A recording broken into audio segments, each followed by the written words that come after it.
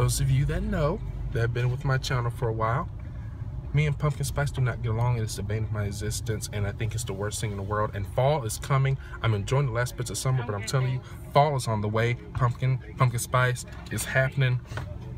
Get ready. The vids are gonna be coming about it. Hashtag pumpkin hate. Hashtag Pexit. Hashtag no pumpkin. Make it trend Phoenix just said that take it home